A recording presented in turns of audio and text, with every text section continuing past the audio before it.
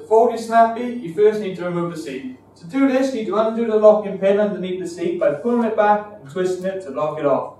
And place one hand at the back of the seat, one hand on the lever, pull the lever up, tilt the chair back, place your hand on the centre of the seat, and pull it away from the chassis. You then need to pull on the two locking sliders either side of the chassis, and then allow the chassis to fold down. To unfold the Snappi, take the push handle, lift the chassis up, and allow it to click into place. You then need to replace the seat.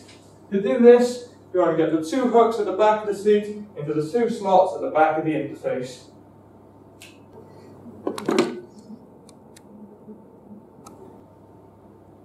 Then push the seat until it fits into place and secure the seat by twisting the locking pin.